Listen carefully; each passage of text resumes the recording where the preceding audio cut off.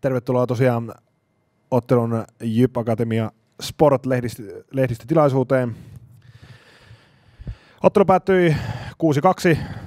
Näemme viihteellisen jääkiekko-ottelun. Otetaan valmentajien kommentit ja ensimmäisenä Sport ja Pasi Räsänen.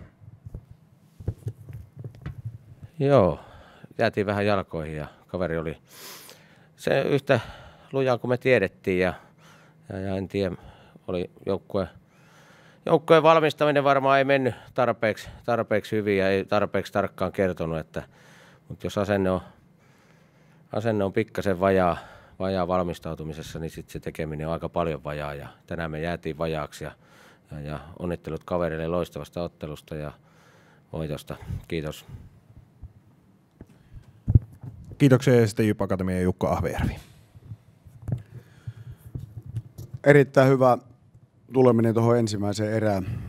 erään ja tuota, niin, meillä on monesti ollut hyviä ensimmäisiä eriä ja toiseen erään ei ole sitten oikein löytynyt semmoista rytmiä, mutta tuota, tänään, tänään pelaajat tuolla kopissa pähkäili sen asian sillä tavalla, että hoidetaan tänään semmoinen laadukas 60 minuuttia ja toinen erä oli erittäin, erittäin laadukas, ainut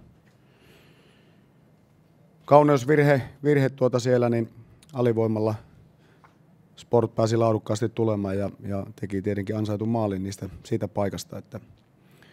Mutta tuota, pelivirtaus oli meillä, meillä tänään hyvää ja hyvää tilan poistamista ja, ja tuota, niin pystyttiin luomaan nuo paikat, mutta se, että noista paikoista vielä hyvällä prosentilla pystyttiin laittaa sisään, niin se on, on aina hieno asia – kaksi maalia omia ainoastaan, ainoastaan tuota sarjan kärjeltä, niin se on laadukas suoritus puolustuspelaamisen kannalta ja se on kuitenkin mun mielestä se ydinjuttu tässä, että siinä löytyy se laatu, laatu oikealla tavalla. Ja riittävästi tapahtumia, ylivoimaa, alivoimaa, taklauksia, vähän maaliedusta hässäköitä. Hyvää viihdettä mun mielestä yleisölle. Toivottavasti yleisö löytää vielä lisää, lisää näihin, näihin meidän kotiotteluihin myös tänne näin. Ja kolme pistettä, tärkeät pisteet. Jatketaan kohti perjantaita. Kiitos.